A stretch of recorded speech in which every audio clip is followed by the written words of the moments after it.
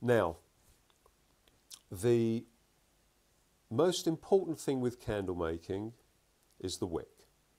The wick is the spine of the candle. If the wick is not the correct diameter, the candle will not burn correctly.